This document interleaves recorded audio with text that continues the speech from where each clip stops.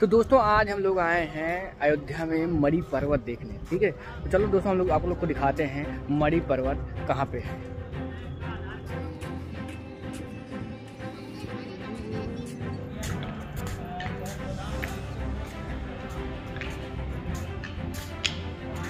मरी पर्वत के बारे में कुछ यहाँ इंस्क्रिप्शंस लिखा है पत्थर पर।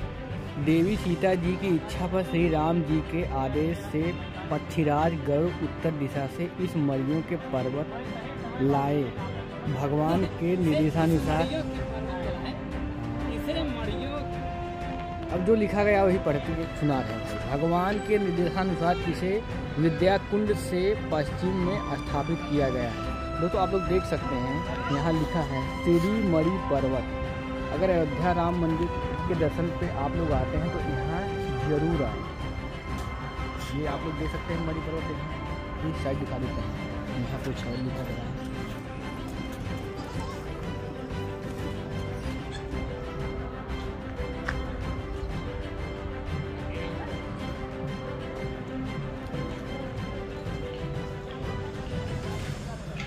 दोस्तों, आप लोग को दिखा देते हैं ऊपर चल के मणि पर्वत कैसा है। ये देखिए, इतनी सारी सीढ़ियाँ आपको चढ़ के ऊपर जाना होगा।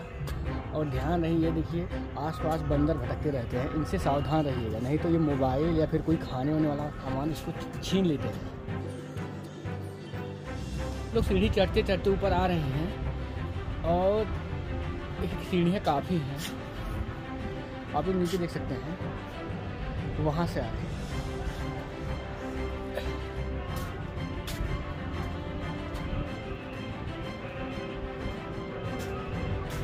जब आप लोग यहाँ आएँगे तो इतनी सारी सीढ़ियाँ चढ़, चढ़ते हुए आप लोग को ऊपर जाना है। देखिए, यहाँ पानी पीने की व्यवस्था है। हमारी तो सांस फूल गई। काफ़ी ऊपर गाड़ी। देखिए, हम यहाँ इस जगह पर पहुँच गए हैं। दोस्तों आप लोग देख सकते हैं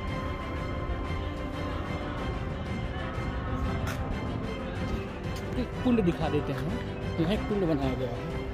ये देखिए। दोस्तों, अगर आप अयोध्या आएँगे तो आप लोग मणि पर्वत पर ज़रूर आएँ।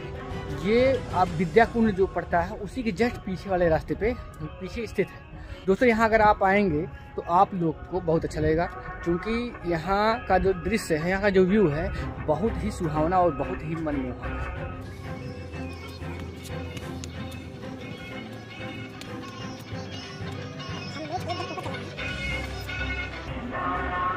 मंदिर श्री मणि भगवान दत्तात्रेय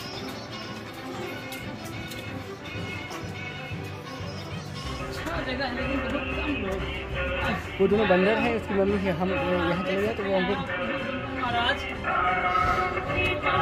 दोस्तों आप लोग आएँगे यहाँ ऊपर आएँगे तो यहाँ आके देखेंगे ऐसा तो थोड़ा ये देखिए थोड़ा जर्जर हो गया है शायद इस पर ध्यान नहीं दिया जा रहा है। बहरहाल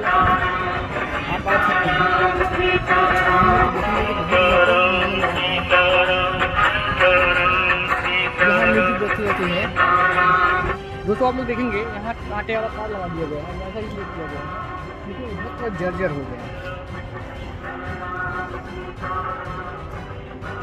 दोस्तों, जब आप लोग ऊपर आएँगे, इस तरीके का दृश्य आपको देखने को मिलेगा। यहाँ से आधा अयोध्या आपको दिख जाएगा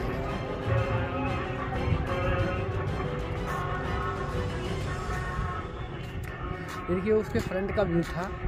यहाँ से आएँगे आप लोग। तो आप यहाँ से देखिए इस साइड जंगल जंगल आपको दिख रहा होगा।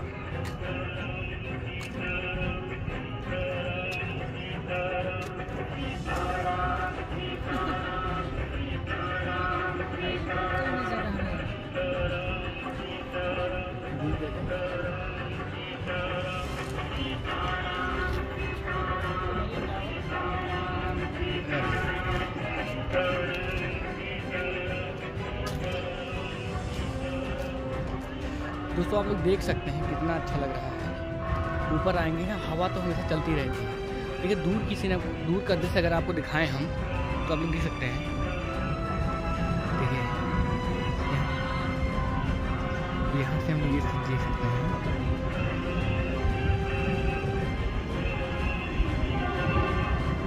दोस्तों, यहाँ साथ देखिए, बहुत सारे भक्त लोग आ गए हैं दर्शन करने।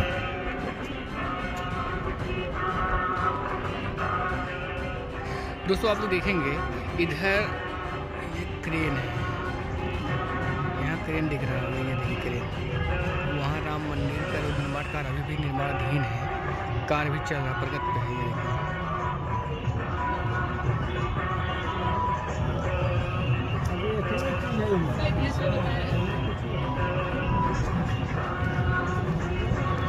आप लोग यहाँ देख सकते हैं, ये देखिए, भगवान श्री राम का झंडा यहाँ देखिए।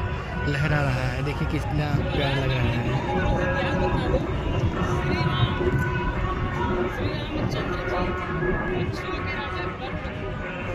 देख सकते हैं कितना दूरी पे है वो। दोस्तों अभी हम लोग अंदर जाने वाले हैं। चप्पल जाता है।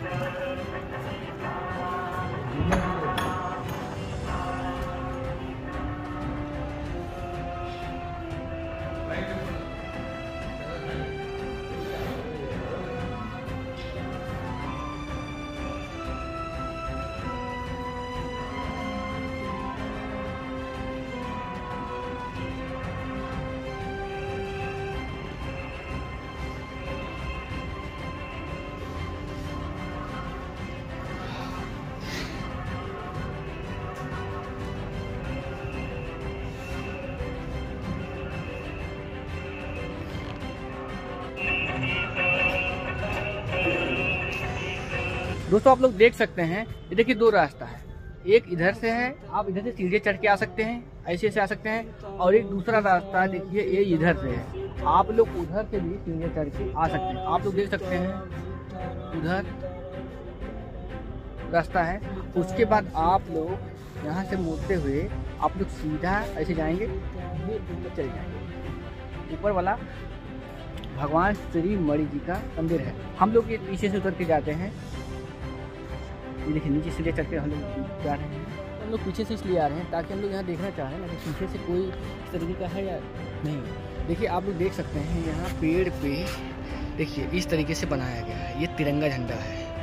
देखिए, जितने भी पेड़ हैं, सब पे बनाया गया। देखिए, हम दूसरे पेड़ दिखा देते हैं। यहाँ देखिए, यहाँ भी देखिए, इस तरीके से बनाया गया है और नीचे भी पेड़ पे बनाया गया हम लोग नीचे वाला दिखा देते हैं आपको।